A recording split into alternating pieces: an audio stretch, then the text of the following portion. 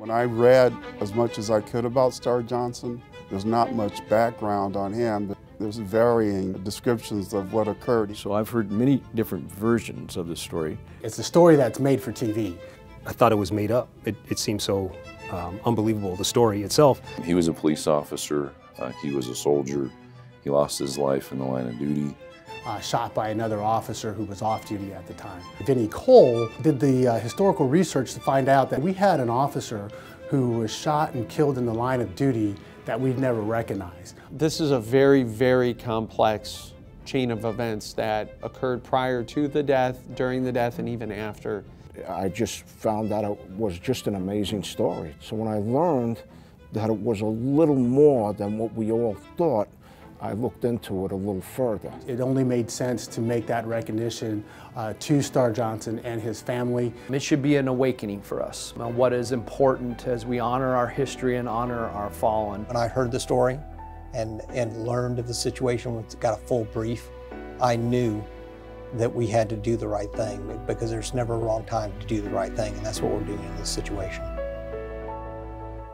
I had a sergeant by the name of Vincent Cole we would bounce history off of each other. The story of Star Johnson came up, and he seemed very enthused about this to the point that I'm gonna have to dig up some more information. I'm gonna go research this. Uh, Vinny is our uh, department uh, historian, and I also work alongside him with the, at the Phoenix Police Museum, uh, which I'm also involved in the museum. And um, Vinny gave me copies of a, a police report uh, from 1944. The only known photograph I ever found of Star is a group photo um, of the entirety of the Phoenix Police Department at the time the photo was taken. And this particular photo is interesting in the sense of the story surrounding Star's death had three major players in it, and they're all photographed in the same photo. You had Officer Star Johnson, Officer Johnson's partner that day, Joe Davis, and the person that shot and killed Star, Detective Frenchy Navarre. A lot of this research was done by retired Lieutenant Rob Septembre. Uh, Lieutenant Septembre was successful in getting Star recognized at the state level at our memorial at Wesley Bolin Plaza. As the designated unofficial type historian for the department, what I would do is I, was, uh, I would interview the old timers, the officers from the 40s and 50s. And Vinny was very interested in this. He had heard of this, he wanted to know the story, he wanted to know what my involvement was. We always knew, a, knew about a story, officers from the 60s on forward, of a police officer that shot and killed another police officer. We have lost a lot of police officers in the line of duty since the beginning of this department. Um, officer Johnson was the second officer that was killed in the line of duty. Uh, he was the first African American officer that had lost his life. If you think about that time back in 1944, um, Phoenix was a lot different, uh, a lot different place back then than it is now. And um, the country was going through a lot. It was going through World War II over a month before um, D-Day.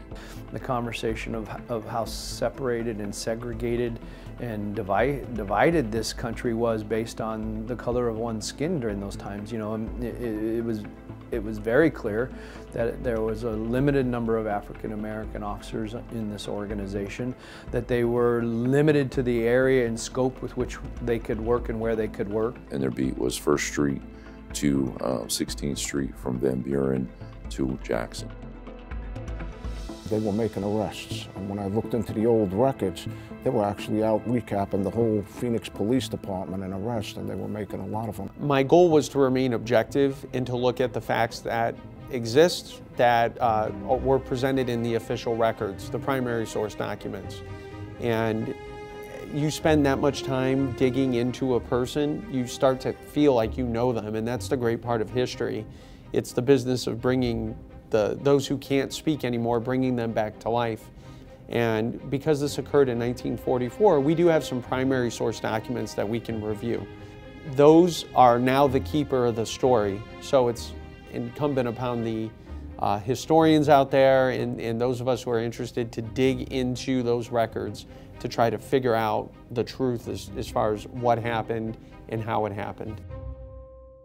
In May of 1944, Star and Joe Davis were working together as partners in the, on a walking beat in the downtown Phoenix area where they observed a traffic violation of a vehicle. Now there's some debate as to who was in that vehicle at the time of the violation, but ultimately the vehicle was stopped and uh, Detective uh, Frenchy Navarre comes into the picture. Now, if he does that as a driver or as a person who observed the stop, no one knows. But what is known is that Officer Davis stepped away from the traffic stop and walked into a local business. Officer Johnson recognized that the officer that had the traffic violation was an off-duty officer. And that may explain why he went by himself where his partner went into the, the local store. And so I'm assuming he felt safe because he had made a traffic stop on a, another officer. But it also tells you a lot about uh, Officer Johnson's character that he was going to address it.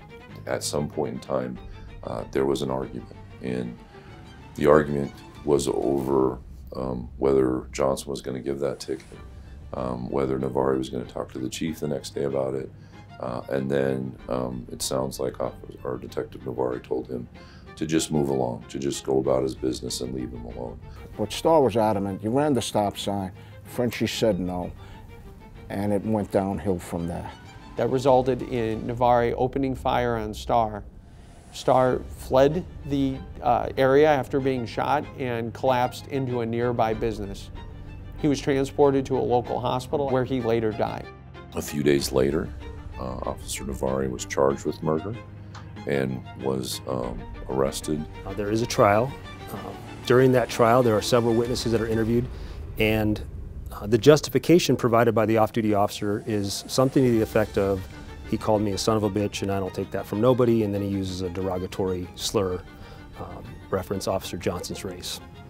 Uh, in 1944, that was enough to get him a hung jury the first time, uh, and then ultimately he's acquitted in, in round two, uh, the second trial. Joe Davis was Star's partner, and apparently very close with him. And, and Joe Davis was pretty upset by the time uh, this happened, and they actually put Frenchy back to work and he's working in the Phoenix Police Headquarters building at the time at 17 South 2nd Street when uh, he steps out of his office to get a drink of water and is confronted by Joe Davis in the hallway and shot and killed by Joe Davis. Joe Davis goes to trial for the homicide. It's a hung jury.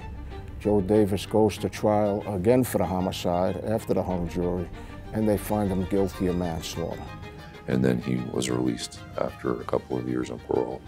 And, uh, and that was about it, end of story.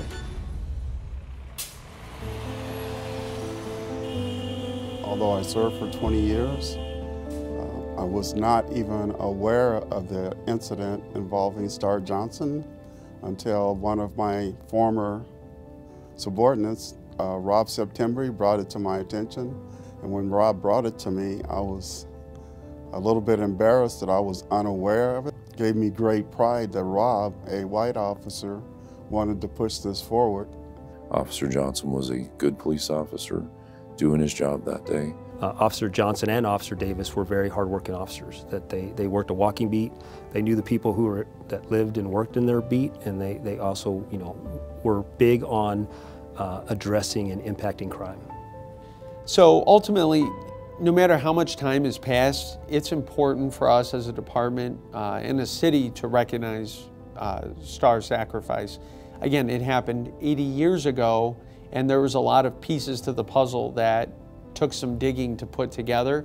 But once we were able to successfully do this, this is the right thing to do. When we look at the totality of this incident in its journey from its inception to the finality of it, what a lot of us have tried to really do over the course of the time we've had these conversations centered in this event is really focus on the facts as we know them, the history as we know it, related to the circumstances of a Phoenix police officer who's on duty in uniform, performing his mission, um, and ends up losing his life at, to gunfire. One of the big parts of the police culture is uh, honoring and recognizing those who have given the ultimate sacrifice for their community.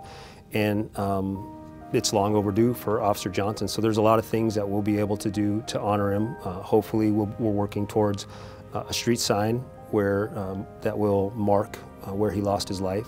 The city has stepped up to the plate has swung that bat. And so we're going to now do something about it. So now on a national level, he's being recognized.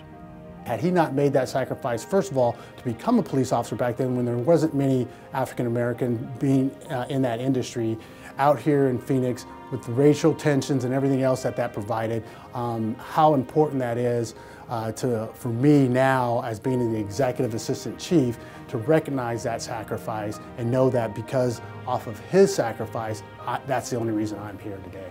And then the big thing is that he's going to be added to the Law Enforcement Memorial Wall in Washington, D.C. Uh, this May. Occasionally, they'll list somebody who had died from years prior that was recently discovered. This year, uh, Star is going to be one of those names. When I became an officer, the first thing I paid a lot of attention is the faces that were at that time were on the wall of the police building of people who were given their lives in the Phoenix Police Department. That's important to officers. There's tremendous lessons for all of us. What spawns out of these tough conversations is, is usually righteousness.